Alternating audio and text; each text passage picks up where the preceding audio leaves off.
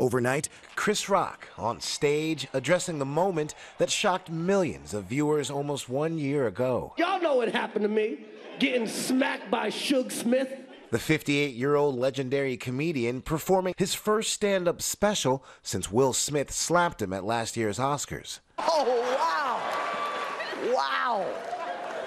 Rock's special, Selective Outrage, is Netflix's first foray into live programming. Rock stepping out on stage dressed in all white, wasting little time talking about that now infamous moment. You know, you know what people say? They always say, uh, words hurt. Anybody that says words hurt has never been punched in the face. Rock choosing to avoid all the usual platforms and high profile interviews, electing to spend much of the past year touring new material, often working in jokes and reflections on the slap. Saturday night, he let it all out. And people like, did it hurt? It still hurts.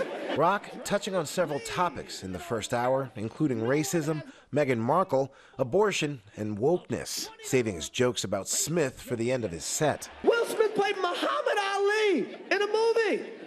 think I auditioned for that part? The comedian suggesting Smith's response to his Oscars joke about his wife was more about their relationship than him. That we all been cheated on. Everybody in here been cheated on. She hurt him way more than he hurt me, okay?